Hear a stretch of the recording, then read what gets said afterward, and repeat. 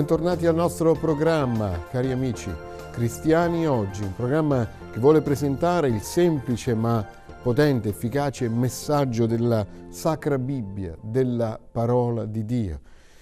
Eh, ogni programma ha un tema, un soggetto. Oggi parleremo della vita. Eh, offriamo un libricino gratuitamente, offriamo un libricino intitolato Una vita nuova e se lo desiderate potete scrivere all'indirizzo che più tardi verrà indicato per ricevere questo libretto intitolato appunto Una vita nuova. E dicevo, parleremo proprio della vita. Ora, eh, quando parliamo di vita, naturalmente possiamo intendere varie cose, si può parlare della vita in senso eh, eh soltanto biologico, quindi l'esistenza, il dizionario dà appunto varie definizioni della vita, dice che la vita è lo stato di attività naturale di un organismo, il quale può spontaneamente conservarsi, accrescersi, riprodursi. Ma naturalmente non possiamo credere che la vita sia tutta qui e quindi spesso noi usiamo l'espressione la vera vita per indicare qualcosa di diverso, qualcosa che non è soltanto biologico, materiale, ma che comprende un po' tutti gli aspetti della personalità umana e nella parola del Signore, nella, nella Sacra Bibbia, c'è eh, una, una, definizione. Eh, Dio stesso dice al suo popolo, per mezzo di Mosè, nel libro del Deuteronomio, io ti ho posto davanti la vita e la morte, la benedizione e la maledizione. Scegli dunque la vita affinché tu viva, tu e la tua discendenza. Attenzione, dice, amando il Signore, il tuo Dio, ubbidendo alla sua voce e tenendoti stretto a Lui, poiché Egli è la tua vita. Egli è la tua vita. Ecco, la vita nel senso pieno, nel senso completo, è avere un rapporto con Dio. Il Signore Gesù ha detto, io sono la via, la verità e la vita. E noi che vi parliamo con questo programma possiamo assicurarvi che abbiamo scoperto la vera vita quando abbiamo incontrato Gesù, il Salvatore. Non una religione, ma il Signore Gesù. Vi invitiamo a seguirci in questo programma fatto in parte in studio e nel quale c'è anche un'intervista esterna, la vogliamo ascoltare. Eliseo Fragnito da Torino, intervista per noi Tiziana che ci racconta la sua vita. Poi ascolteremo il coro e l'orchestra della comunità di Napoli che esegue un inno intitolato Santo Spirito scendi. Ascoltiamo. Nel nostro programma si succedono vari ospiti che ci raccontano la loro storia, storie diverse l'una dall'altra, storie personali interessanti, soprattutto che ci aiutano a comprendere quanto grande sia l'amore di Dio verso noi. Oggi abbiamo Tiziana Frigeri, a cui diamo il benvenuto, e vogliamo conoscere un po' la tua storia.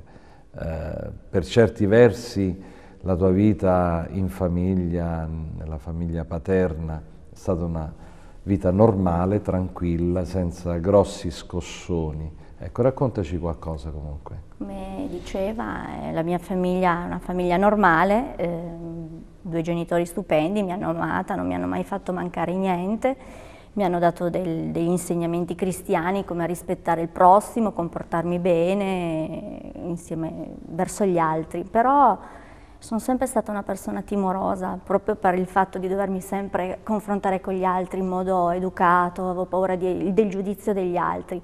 E molto intimorita del, dal giudizio del Signore, perché comunque mia mamma da piccola mi diceva guarda che se ti comporti male il Signore ti giudica, ti, ti mi sentivo insomma sempre gli occhi addosso su tutto e su ogni cosa che Quindi facevo. più che altro eri intimorita. Ero intimorita, sì, non, paura di, di, ogni cosa, di, di, cosa mi circondava, non ero sicura di me stessa. Comunque i miei, i miei, genitori non avevano fatto una vera esperienza, anche loro col Signore, ma bensì frequentavamo la chiesa così, mm.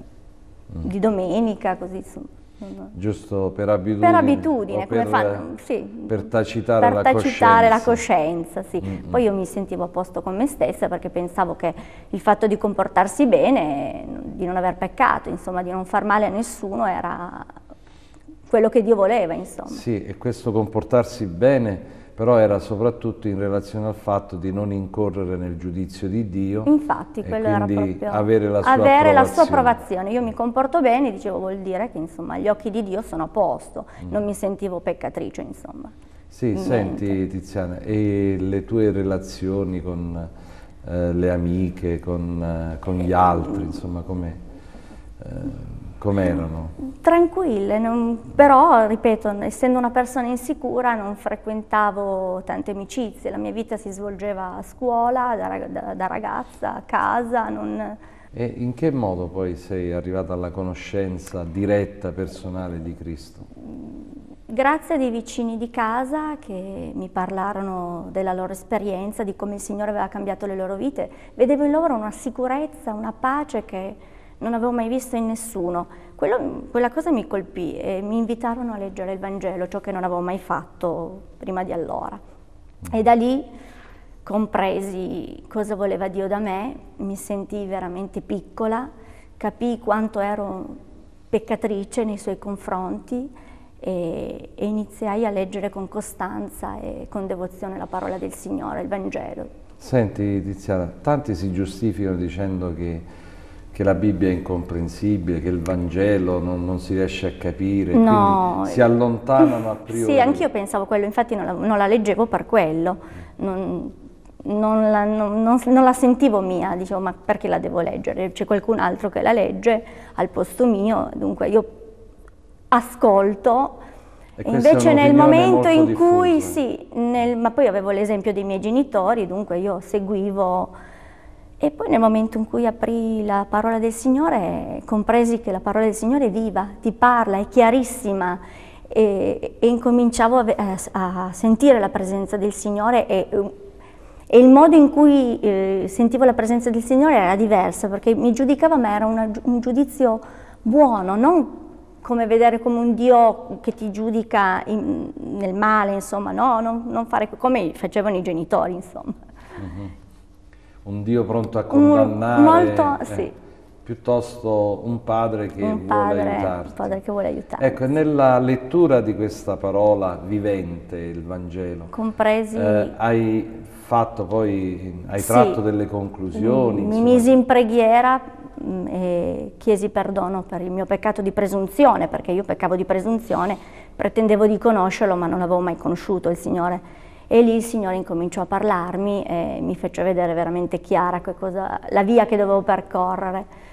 Senti, la parola di Dio ci dice, la Bibbia ci insegna che tutti hanno peccato e sono privi della, della gloria, gloria del Signore. Sì.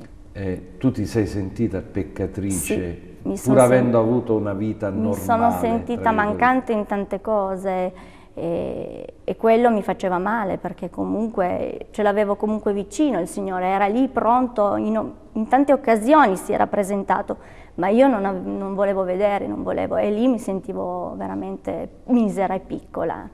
E gridai al Signore di perdonarmi e il Signore mi, mi fece sentire veramente nel mio cuore la sua presenza e il suo perdono. Il sacrificio che Lui aveva fatto sulla croce per me, il, prima non riuscivo a capire come non avevo fatto capirlo, insomma, era, è stato veramente bello. Quindi diciamo quella pace, quella gioia quella che pace, tu quella... avevi riscontrato nei vicini, ora sì, era qualcosa vedevo, di tuo, sì, no? Vedevo la vita con altri, con altri occhi, sì. Mm -hmm. Ero più sicura a correzionarmi con gli altri e stavo bene, veramente il Signore mi aveva fatto comprendere cosa, cosa avevo perso, insomma. Mm -hmm. Ora, eh, la nostra vita è costellata anche di difficoltà, problemi, sì.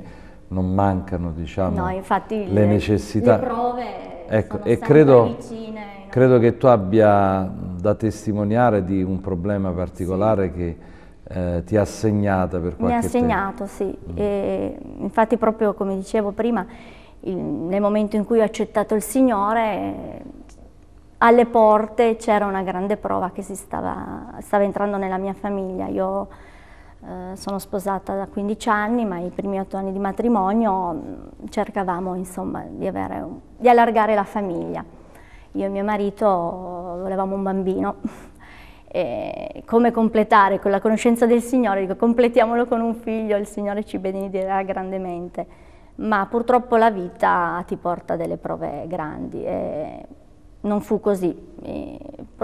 I medici ci dissero che non avremmo mai potuto avere dei figli e lì in me ripiombò l'insicurezza, non feci un grande errore perché non confidai nella parola del Signore, non confidai in Lui, pensavo di farcela con le mie forze, invece stavo scendendo in un baratro e stavo appunto di nuovo ripiombando nel, nel baratro della depressione e mh, mm, ero diventato anche un malessere fisico, non solo mentale, perché il mio mm. pensiero era sempre il perché di non avere un figlio, il perché non avrò, potrò mai vedere il volto di mio figlio. Finché un giorno ero da sola in casa e incominciai a piangere, a pregare il Signore con tutto il mio cuore, gridai e lo misi alla prova perché il Signore nella sua parola dice di metterlo alla prova. Io gridai con tutta me stessa, dico Signore ma perché? Perché questo? Perché mi succede questo adesso che ti ho conosciuto? E gridai con tutta me stessa e il Signore mi mise di nuovo la pace nel cuore e la tranquillità che, che cercavo. Mm-hmm.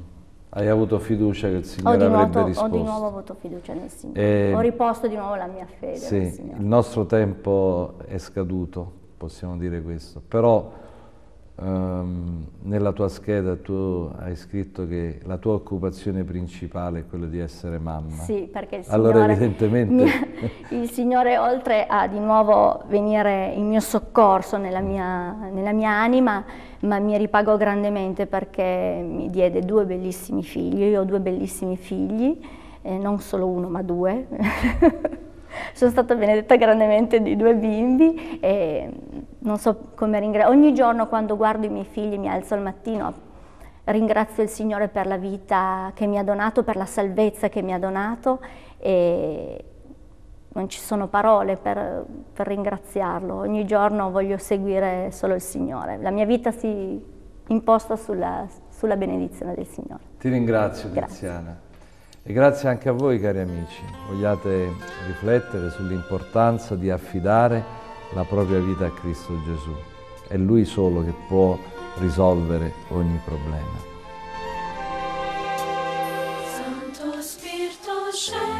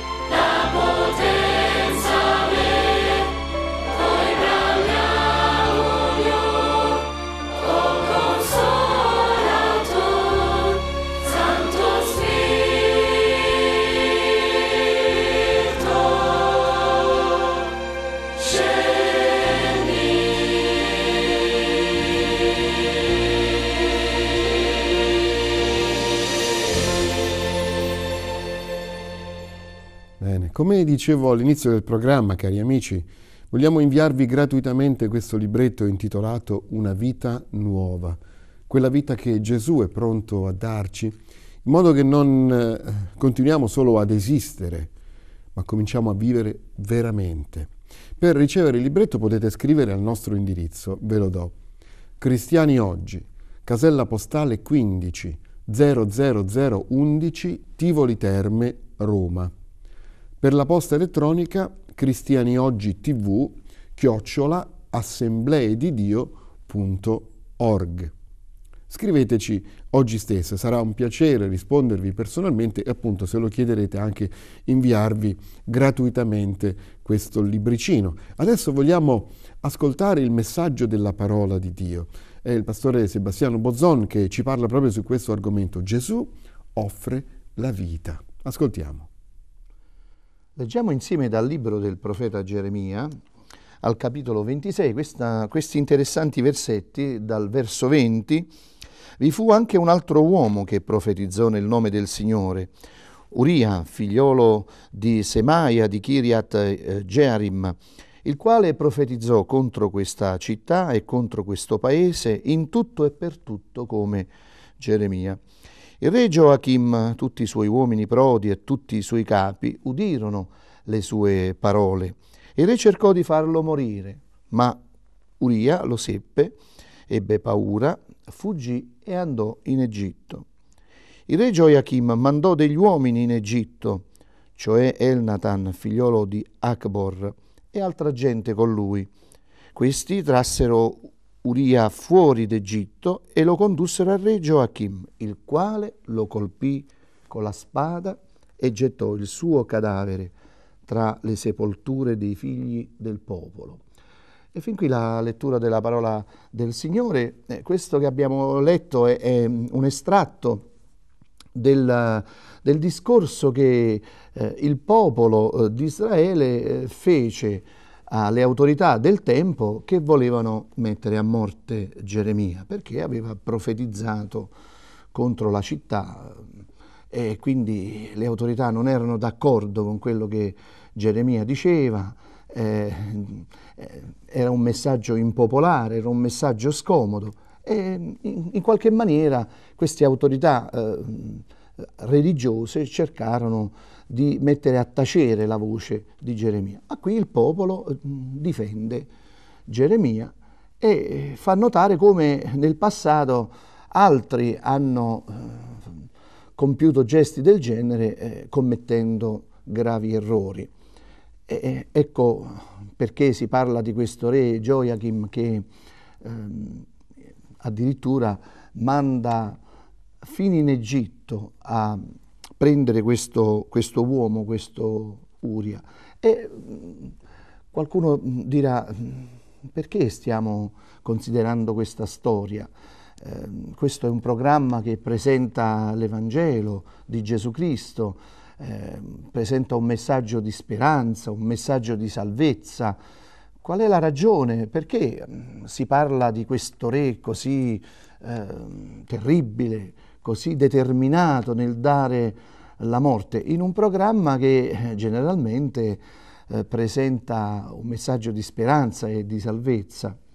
È proprio, è proprio dal confronto di, di, di questi due re, eh, il re Joachim e il nostro Gesù, il re dei re, che eh, noi realizziamo eh, quale privilegio ci è stato concesso da Dio in Cristo Gesù. Perché notate, questo re mh, con grande determinazione, questo Joachim, mosso da, dall'odio, mosso dalla credine verso questo profeta, eh, spende tutti i suoi sforzi, manda gli uomini migliori in una terra così lontana a, a cercare eh, con grande accuratezza eh, quest'uomo e quando lo ha trovato lo fa trascinare fuori dalla città dove si era rifugiato e lo, lo riporta in patria e lì, e lì gli dà la morte, come abbiamo visto, lo condussero al re, il quale lo colpì con la spada. Mi sembra quasi di vedere eh, la scena, questo re che con, con grande soddisfazione sguaina la sua spada, finalmente ha davanti a sé la persona che ha tanto cercato, la persona che tanto odia e, e, e con un colpo di spada eh, riesce finalmente a vedere la morte eh, di quest'uomo. Che contrasto tra questo re Joachim, che è un po' eh, incarna eh, quella che è la condizione umana, gli uomini sono capaci soltanto di odiare, eh, di perseguire la vendetta, ci sono delle persone che sono disposte a fare di tutto pur di vedere un, un nemico, un avversario atterrato, distrutto, ucciso, eh, persone che spendono la loro vita, tutto il loro denaro per eh, farsi vendetta. Eh, co come contrasta questo messaggio, eh, questa figura biblica di Joachim con il re dei re, il Signore dei Signori, il quale nel suo grande amore, non mosso dall'odio, ma da un profondo amore, ci è venuto a cercare e ci è venuto a tirare fuori da questo mondo, ci è venuto a tirare fuori eh, dal luogo dove noi eravamo e, e, non per portarci nella sua presenza, così poi da poterci eh, dare la morte eh, pubblicamente, soddisfare la sua sete di vendetta. No, Gesù nel suo grande amore è sceso in questo mondo, ci è venuto a cercare, ma non per castigare il peccatore. Tanti pensano che Dio cerca eh, il peccatore, cerca l'uomo per rendergli la vita impossibile, per punirlo, per privarlo di tutte le gioie che ci sono eh, nella vita, ma non è così. Il nostro Re Cristo Gesù è sceso dal cielo per donarci la vita. Gloria al nome del Signore. Egli non cerca eh, la nostra vita per poterla distruggere, per poterla eliminare. Egli non ha pagato un così alto prezzo. Immaginiamo quanto ha dovuto spendere Joachim per finanziare questa spedizione. Gesù ha dato la sua vita. Gesù ha dato la sua vita sul Calvario, alla croce, per poter vedere la mia e la tua vita salvezza. Eh, vogliamo veramente imparare da questo contrasto così evidente quanto eh, è grande l'amore, l'interesse di Gesù, quanto è importante non solo che noi ci facciamo eh, trovare da colui che eh, ci cerca, eh, non solo che noi ci abbandoniamo con fiducia nelle mani di questo Re che ci vuole nella sua presenza eh, non per rovinarci, per impoverirci, per privarci di ogni bene, ma per arricchirci e per donarci la salvezza. Eh, Gesù è come, è come, un medico che cerca un ammalato eh, per guarirlo, per sanarlo. Eh, forse tu non lo sai, ma Gesù ti sta cercando. E attraverso queste semplici parole, questa semplice trasmissione, Dio ti vuole far sapere che Egli è alla tua ricerca, Egli cerca la tua vita e lo fa per arricchirti, lo fa per salvarti, lo fa per farti del bene. Tanti di noi abbiamo fatto questa meravigliosa esperienza, eh, avevamo un'idea eh, particolare di Dio, sicuramente errata, guardavamo a Dio come qualcuno che eh, rovina soltanto la vita, è, tempo perso dedicarsi a Dio, lasciati trovare dal Signore, Egli non ti colpirà, Egli ti perdonerà, Egli non manifesterà la sua ira, la sua sete di vendetta, ma Egli ti mostrerà tutto il suo amore, tutta la sua cura e tutto il suo desiderio di vedere il tuo bene. Non ti trovi di fronte a Joachim, un re assetato di vendetta che non vede l'ora di dare corso alla sua ira, ma ti trovi di fronte a un Padre meraviglioso che pur di vederti prosperare, pur di vederti eh, salvo, pur di vederti eh, con Lui per tutta l'eternità, è stato pronto a dare la cosa più preziosa che aveva. Gesù ha dato la sua vita sulla croce perché io e te potessimo essere ritrovati eh, da Dio e da Dio perdonati, arricchiti, aiutati. eh, noi ti invitiamo nel nome del Signore di arrenderti a Gesù che ti cerca, di lasciarti trovare. Chissà, forse quante volte il Signore ha rivolto il suo appello accorato alla tua vita e forse sei stato un po' distratto, ma in quest'ora eh, renditi conto di questa realtà. Dio ti cerca perché vuole farti del bene. Arrenditi al Signore, accettalo, accetta le sue cure, vai a Lui, lasciati prendere per mano, lasciati tirare fuori dall'Egitto, dal tuo rifugio. Egli ti farà del bene come ne ha fatto a noi. Dio ci benedica. Sì, parliamo per esperienze, il Signore ci ha fatto del bene ed è pronto a farlo anche a te, caro amico. Gesù dice chi ascolta la mia parola e crede a colui che mi ha mandato ha vita eterna e non viene in giudizio, ma è passato dalla morte alla vita. Vogliamo pregare qualche istante. Padre nostro celeste, ti ringraziamo nel nome del tuo figliuolo, il nostro Salvatore Gesù, per questa parola di speranza e ti preghiamo di raggiungere molti, Signore, per dare loro la vera vita. Ti ringraziamo per le cose grandi che hai fatto, che stai facendo e che farai ancora, nel nome di Gesù. Amen. Cari amici, siamo giunti alla fine del programma, giunge la, fi- la sigla di coda e ci dice che ci dobbiamo salutare. Vi ringraziamo di essere stati con noi, ancora una volta vi invitiamo a scriverci prendendo nota dell'indirizzo che sta arrivando. Noi vi diamo appuntamento per la prossima trasmissione, continueremo a pregare per voi che possiate sperimentare questa meravigliosa vita che Gesù è pronto a dare a tutti perché l'ha comprata per noi. Dio ci benedica. Il messaggio di questo programma riguarda personalmente anche te. Cosa farai davanti all'invito di Gesù Cristo il Salvatore? Vorremmo aiutarti a conoscere meglio la persona di Cristo e inviarti gratuitamente una copia del Vangelo. Scrivi a Cristiani Oggi, casella postale 15 00011 Tivoli Terme, Roma. Dio ti benedica e a presto.